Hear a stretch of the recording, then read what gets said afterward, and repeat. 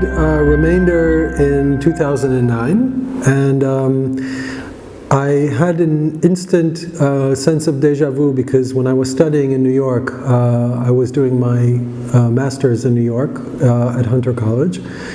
And at the time, I was interested already in this notion of uh, trauma and reenactment and repetition.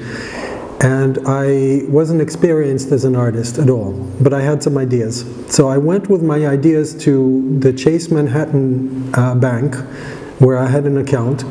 Uh, and I went to the branch on 86th Street in Lexington, and I asked them, I made a meeting, and I asked the teller, the bank uh, executive who was sitting in front of me, if uh, she might consider doing an artistic collaboration where I would stage a robbery in the bank and not tell the uh, customers and the people there that it was happening, and that we would do it repeatedly. Um, and of course, after I finished explaining my idea, she told me, "No, it's not. It's not possible. Thank you for coming," and I left.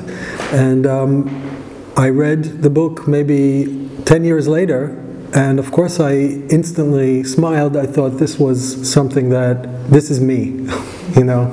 But I didn't have the money that the protagonist has, and I didn't have the freedom that he had. About the past, Is that you? I can say very little. By signing this document, you're agreeing not to discuss the accident in public. Essentially, I Essentially, have to forget it ever happened, legally speaking. Um, and so the connection was very spontaneous. And of course, I, I, uh, I also met uh, Tom McCarthy at a party um, a few years before, and so I got in touch with him about the book and uh, reintroduced myself. And uh, at some point, the uh, company that had the rights to the book became uh, interested in my work. They wanted to do something else with it. They wanted to do a very big uh, movie, a very big successful movie, and instead they got me. And so we did something that was small and unsuccessful. But uh, uh, that's how it started. Um, what I what I thought was interested in the book and in the project that uh, I made out of it is um, uh, the notion that there is a very um, a kind of an old school way of addressing our relationship to experience that actually elides the digital. Uh, and the protagonist, instead of, after his accident, instead of, you know, waking up as part of his rehabilitation and uh, Googling himself or looking at a Facebook page or looking at a website and finding the kind of digital traces online for who he was, the kind of social media shadows that we cast as people, uh, all that stuff is kind of um, cut off that world doesn't exist to him and it's not explained in the movie. The only symbol that we have for that is that when he falls down, uh, when he falls down after his accident, the camera kind of shows us that his smartphone has kind of been damaged, and uh, at that point, there is no more access to the digital world uh, for him. And um, what he uses instead is the kind of uh, the, the language and the strategies of, of I suppose, the arts of experimental theater, uh, and the, in that sense, the project is almost romantic in its uh, uh, understanding of how we, how he reconnects uh, with his past and with his identity. And what he does is uh, literally uh, slips into the role of a director. Uh, a kind of, um, let's say, a performance director, a fluxus director, a fluxus artist, somebody who is increasing, increasingly uh, obsessed by detail and by repetition. And in the end, it's unclear whether the obsession with detail with repetition is actually to its own end or if there is some, something higher, you know. And the film sort of plays around with this notion of whether or not the productive work actually is towards a particular end or whether the actual fact, the actual act of repetition, of being stuck in that process, uh, which uh, perverts you know, the real and the routine of being a productive citizen, whether uh, this kind of work is in fact what the, where the art, you know, the magic of art resides.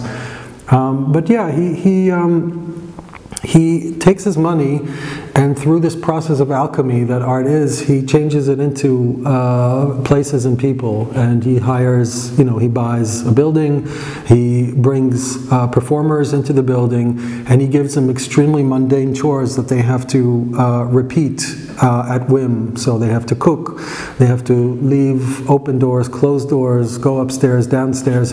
They have to do repetitive tasks that are tied to their everyday life. And it's very much, to me, connected to uh, a kind of an idealized or romantic notion of what the avant-garde, the historical avant-garde is about, which is, in a sense, to place the uh, the uh, meaning, the uh, the process of art inside the, the, kind of the stage of the everyday, uh, and that's what the film shows. I'm interested in symptoms. I'm not interested in cures, and I'm not interested in uh, uh, explanations for for things.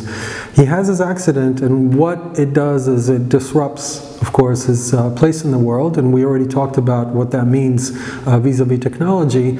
And what it means vis a vis temporality is that he enters a kind of a circular time. He's no longer in a kind of a linear time, in an organic time. He enters a time uh, of repetition.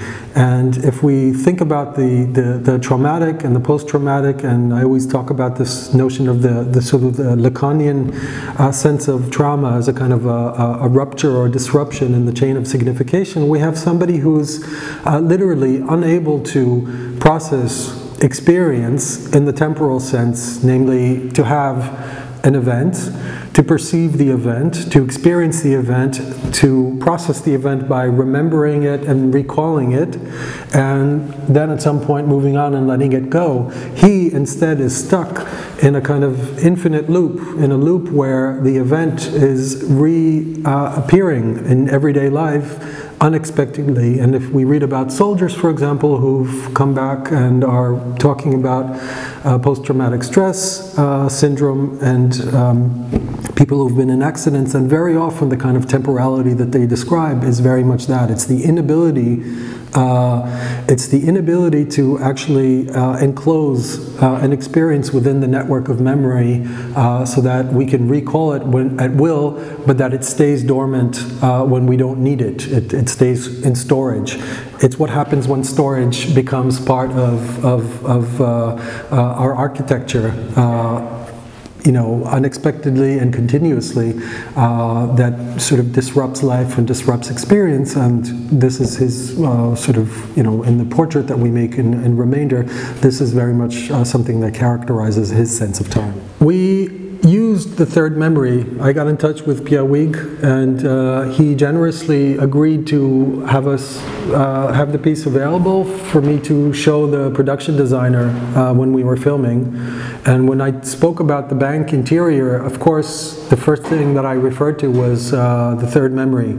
So we talked about we had to, of course, narrate the succession or the evolution of the set from being something which is very makeshift and very minimal and very conceptual looking to something that looks like uh, a somewhat authentic bank. Uh, how successful we were is a measure of a whole bunch of, of factors, some of which I could control and some of which I couldn't, but you know, the third memory was very much uh, central to planning this out. And actually in the original script of Remainder and what we filmed, there's a scene at the bar where they drink champagne and they talk about the possibilities for what to do with the money. And I asked um, uh, Pierre Huyghe if we can uh, make the uh, label for the champagne bottle that's called uh, uh, Pierre Huyghe Efis, uh, you know, um, and uh, he agreed, but unfortunately the scene was cut from the movie, so he's he's not credited. Uh, he's not. Uh, he doesn't appear as a as a name in the film.